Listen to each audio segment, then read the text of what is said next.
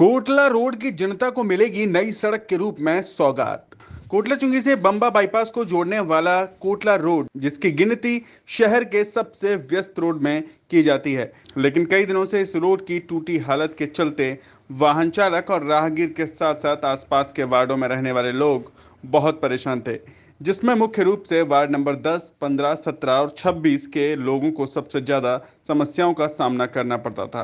लोगों की समस्याओं को संज्ञान में लेते हुए आज महापौर नूतन राठौर द्वारा कोटला चुंगी चौराहे से अहिल्याबाई होलकर की प्रतिमा तक क्षतिग्रस्त कोटला रोड का हॉट मिक्स द्वारा सड़क सुधार व्हाइट पट्टी कैटाई और नाली मरम्मत पर दोनों साइड पटरी के साथ साथ इंटरलॉकिंग लगाने का कार्य का शिलान्यास किया गया।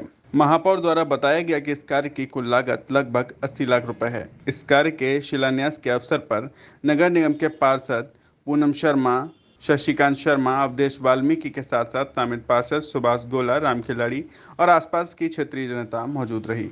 इसके साथ साथ जनपद फिरोजाबाद के वार्ड नंबर तीन, बौद्ध नगर में भी सीसी द्वारा सड़क निर्माण कार्य का शिलान्यास किया गया। देखिए, आज जिस कार्य का हमने शिलान्यास किया है मैं कहना चाहूँगी कि बहुत लंबे समय के इंतज़ार के बाद, क्योंकि यहाँ पर जो हमारा क्षेत्र है कोटला चुंगी चौराहा, नगला करण सिंह, यहाँ के हमारे जितने भी व्यापारी बंधु हैं समय समय पर मांग उठाई, इस रोड के निर्माण कार्य को कराया जाए।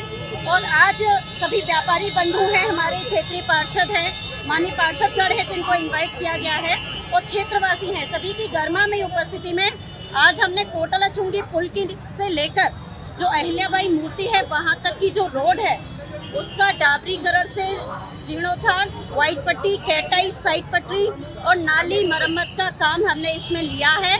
बहुत ही अच्छे तरीके से कराया जाएगा, क्योंकि बहुत लंबे समय से इस रोड पर काम नहीं हुआ और जिस तरह से बार बार गड्ढा मुक्ति हम करते हैं या पीडब्ल्यू डी करता है तो उसको देखते हुए इस रोड का नव निर्माण कार्य का हमने आज शिलान्यास किया है। इस कार्य की कुल लागत लगभग 80 लाख रुपए है और मुझे लगता है अब तक की जो कठिनाई यहाँ के व्यापारियों को, यहाँ की जनता को होती थी क्योंकि हमारा शहर चूड़ियों का शहर है, ठेले निकलते हैं। काफ़ी असुविधा होती है ठेले निकालने में, गड्ढे होते हैं जब। जब एक मार्ग पूरी तरह से नवनिर्माण किया जाएगा तो एक लंबे समय तक हम यहाँ के क्षेत्रवासियों को, व्यापारियों को एक अच्छी सड़क, एक सुंदर सड़क, एक स्मार्ट सड़क देने का काम कर रहे हैं। देखिए, आज जैसा कि आप देख रहे हैं, शहर का प्रमुख मार्ग है।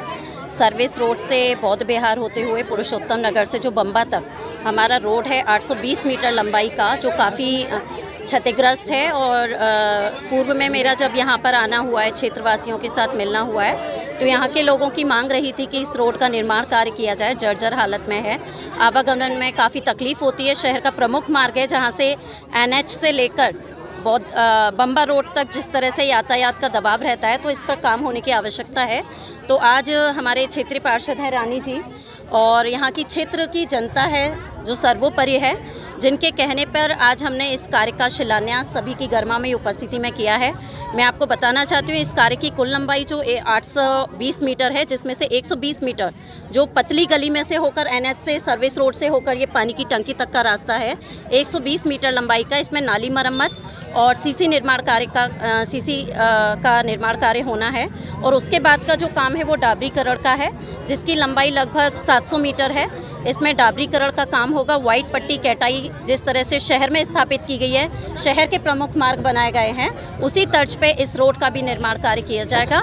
इस कार्य की कुल लागत लगभग 47 लाख रुपीज़ है और ये कार्य होने के उपरांत मुझे लगता है क्षेत्रवासियों में भी एक खुशी की लहर जो आज हम देख रहे हैं, एक अच्छा वातावरण, एक अच्छी सड़क साफ़ सुथरी सड़क हम जनता को समर्पित करने जा रहे हैं। तो उसके लिए मैं सभी क्षेत्रवासियों को भी धन्यवाद दूँगी कि वो एक आज छोटे से कॉल पर, हमारे छोटे से आह्वान पर आज इस शिलान्यास कार्यक्रम में एकत्रित हुए सबको बहुत बहुत बधाई शुभकामनाएँ।